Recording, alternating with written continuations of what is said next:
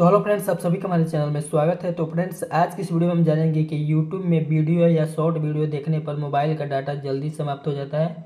तो उसे कैसे ठीक किया जाता है? तो फ्रेंड्स, अगर आप अपने यूट्यूब में कोई भी शॉर्ट वीडियो देखते हैं या लॉन्ग वीडियो देखते हैं तो आपके मोबाइल का जो डाटा है, बहुत जल्दी समाप्त हो जाता है। तो आप अपने मोबाइल के डाटा को सेव कैसे कर सकते हैं, ताकि आप जब भी यूट्यूब पर वीडियो देखें तो आपके मोबाइल का डाटा जल्दी समाप्त ना हो।